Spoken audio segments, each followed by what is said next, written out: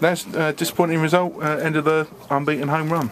Yeah, it's um, it's disappointing. 'cause it was a game that we were, you know, looking to win, um, as always. But um,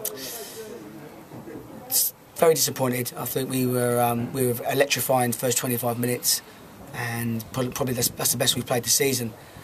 Um, controlled the game, had three or four really good chances. They didn't really work for us, didn't go for us, and then we conceded a goal which which sent us flat a little bit when we were going so well. Um, totally against the run of play.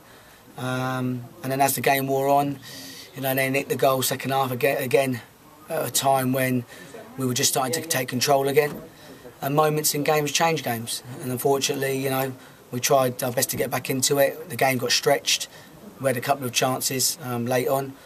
Um, but, you know, we're disappointed because we felt we were the better side. But as always in games, if you don't take your chances, um, you know, you're not going to come out as winners.